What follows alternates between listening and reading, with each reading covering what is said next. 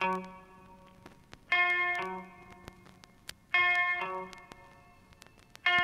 skies are charcoal gray.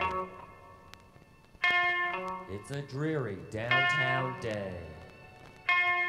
But at the end of my 30 foot leash, my little friend, Quiche. La Poodle.